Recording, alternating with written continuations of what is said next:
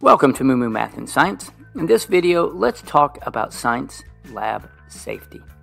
And I'll cover a couple things that will help keep you and your teacher happy.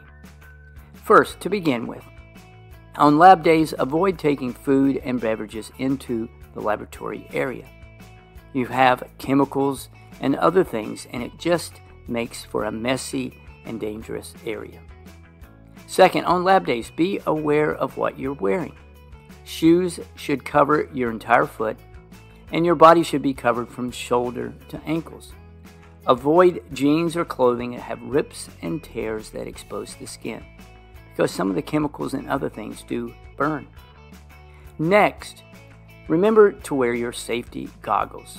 This just makes sense, and as my mom used to say, you don't want to poke your eye out.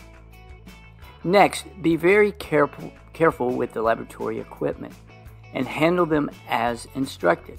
For example, the microscope, carry it with two hands.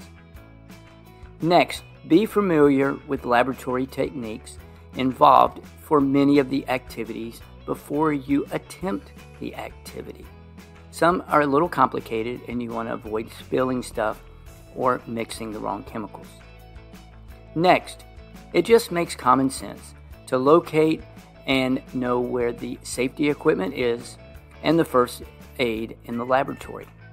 I've taught for many years and I have had cut hands and other things, and it's nice to know where the first aid kit is. Next, what do you do if you do have an accident? Report it immediately to the teacher and also know where to go if help is needed. Next, be familiar with the procedure and what you need to do in case there's a fire in the laboratory. This one, your teacher will like you much more if you will work on keeping your workstation clean and organized.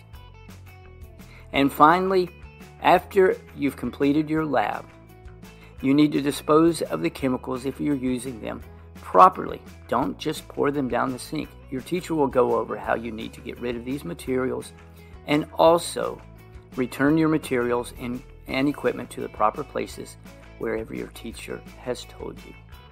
I think if you can follow these simple, common sense guidelines, everyone will be happy. Thanks for watching, and remember kindness multiplies kindness. Be kind to someone today.